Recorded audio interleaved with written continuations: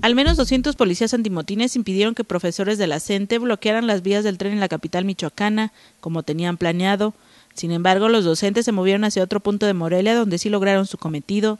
En otros municipios sí se cumplió su actividad de bloqueo a la vía férrea. En Morelia, la valla de los elementos del Grupo de Operaciones Especiales, que mantenían desde temprana hora, permitió el paso del tren de manera libre en la zona conocida como Tres Puentes. En Pátzcuaro, los elementos de la Policía Michoacán implementaron un operativo para desalojar a los manifestantes, quienes prendieron fuego a los durmientes en una vía.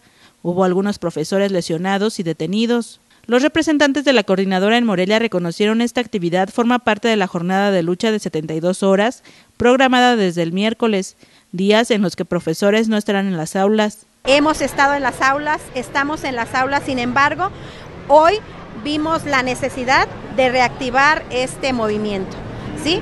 De que el gobierno entienda que nosotros tenemos el derecho y la obligación de exigir nuestros salarios. El secretario de Educación en el Estado, Alberto Fruti Solís, aseguró que solo el 2% de los planteles en Michoacán pararon clases e invitó a padres de familia a denunciar a los docentes que no acudan a sus labores como parte de las protestas. Tenemos no más del 1 o 2%, que significan 300 escuelas en todo el Estado que están participando nuevamente en esta actividad. Se le está invitando a, a los ciudadanos, ¿no? a los padres de familia, a que pues primero le hagan la invitación a los maestros a que estén en sus lugares de trabajo. Yo creo que es una obligación de todos.